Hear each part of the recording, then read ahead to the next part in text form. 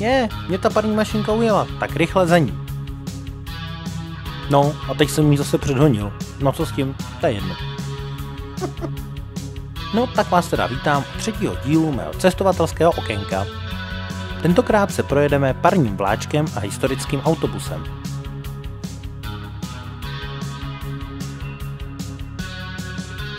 Můžete mi někdo říct, proč ten vlak jde obráceně? No, já se jdu radši podívat za nádraží, co tam na nás čeká. Je tady historický autobus Karosa SL11, který se vyráběl v letech 1963 do roku 1981 v továrně Karosa Vysoké Míto. Majitel a řidič v jedné osobě nám ukázal interiér autobusu. Zde již přijíždí další autobus. Je to stejný model, pouze po preciznější renovaci. Parkování otáčení s tímto autobusem je doslova hodinářská práce.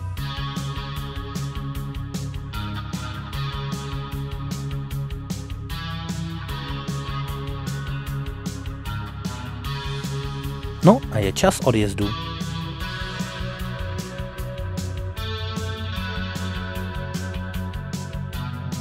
Tento krasavec nás odvezl do obce Lobeč, kde jsme absolvovali prohlídku padostrojního pivovaru. Současný majitel zachránil historickou památku doslova za 5 minut 12. No nestačilo smutně proslulé komunistické řádění s památkami. Ale na začátku 90. let koupil tuto budovu podivný podnikatel, který měl v úmyslu ji zbourat a prodat ta stavební materiál.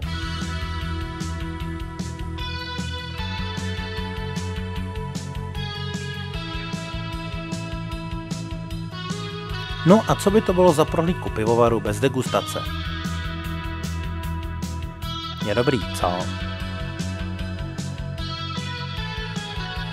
Ještě svačinu na cestu a šup do autobusu.